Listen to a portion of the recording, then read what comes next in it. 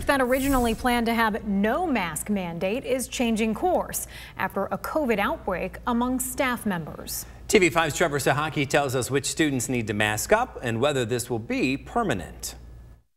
Two days after Gladwin Community Schools sent out this letter telling parents kids don't need a mask at school, the district is changing its guidelines.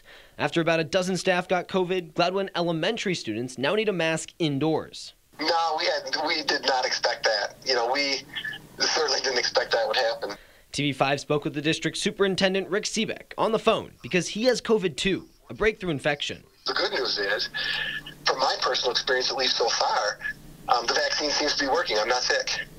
You know, i have been exposed. I tested positive, but I'm I'm not sick. Since the cases are in a building where the students can't be vaccinated yet, Seebeck felt masking was the best option. One dying is too many, right? Mm-hmm. Who wants that on uh, on their watch? So I, even though I understand that kids are relatively um, are relatively safe from severe complications and even death, they're not totally impervious to it.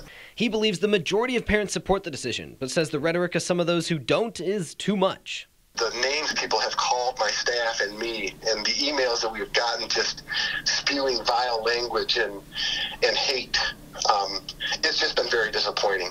Since the infections appear to have happened last week, as long as there's not much more COVID spread, Seebeck hopes to remove the mask mandate next week. My job is to keep the kids safe and give them the best possible education considering the circumstances that we're all in.